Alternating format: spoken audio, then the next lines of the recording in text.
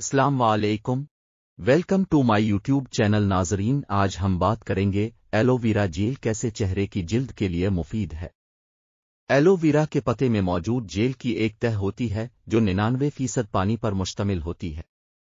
अलरजल magazine में शाये होने वाले एक मजमून के मुताबिक, इस एलोवेरा जेल में अमीनो एसिड और विटामिन ए, सी और आई पाए जाते हैं।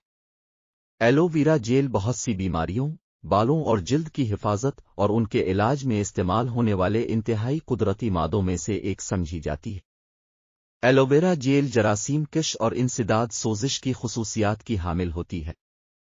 इसके अलावा इसमें जिल्द के लिए अहम गजाई अज्जा भी शामिल होते हैं। रोज़ाना की बुनियाद पर चेहरे पर लगाने से ये कील मुहासों के इलाज में वाज तौर पर मुफीद साबित होती है।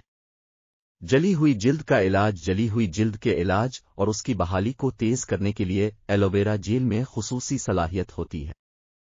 इसे रोज़ाना कई बार जले हुए मकाम पर लगाने से जख्म दुरुस्त हो जाता है। जिल्द का सूखापन दूर करना एलोवेरा जेल आमतौर पर जल्द की तमाम बीमारियों के लिए मौजू है, लेकिन यह खास तौर पर खुश्क जिल्द के लिए बहुत फायदामंद है। उसका बाकायदा इस्तेमाल जिल्द को नमी बख्शता है और उसका सूखापन दूर करता है। आँखों के गिर्द सियाह हल्कों को कम करना। एलोवेरा जेल विटामिन ई से भरपूर होती है, इससे जिल्द पर ठंडा असर पड़ता है। इसलिए आँखों के गिर्द एलोवेरा जेल का इस्तेमाल आँखों की बीमारियों और आन के गिर्द सियाह हल्कों को दूर करने में मदद देता है। इसे रोज़ाना रात को सोने से पहले आँखों के गिर्द लगाना चाहिए। चेहरे के लिए एलोवेरा जेल का इस्तेमाल कैसे करें? चेहरे पर एलोवेरा के इस्तेमाल की बहुत सी तरकीबें और मुताद तरीके हैं। जिनमें से कुछ ज़्यादा मुअसर समझे जाते हैं। चिकनाई वाली जल्द से कील मुहासों का खात्मा चिकनाई वाली जल्द से कील मुहासों के खात्मे के लिए हफ़्ते में दो बार रात को सोने से कबल चाय के पौधे के तेल में एलोवेरा जेल मिलाकर चेहरे पर लगाएँ। हसास जिल्द को नरम करना केले के छोटे से टुकड़े में थोड़ा सा एलोवेरा जेल और एक चम्मच गुलाब का पानी मिक्स करें और आस मास्क को चेहरे पर लगाएँ।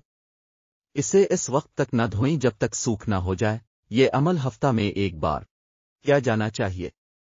खुश्क जिल्द को नरम बनाएँ, खुश्क जिल्द को नरम बनाने के लिए खीरे के टुकड़े को पेस कर इसमें एक चम्मच सफ़ेद शहद और एक चम्मच एलोवेरा जेल मिलाकर। चेहरे पर लगाएँ। अच्छे नतज के लिए मतलूबा पंद्रह मिनट के लिए जिल्द पर लगाएँ और उसके बाद पानी से धो लें। शुक्रिया।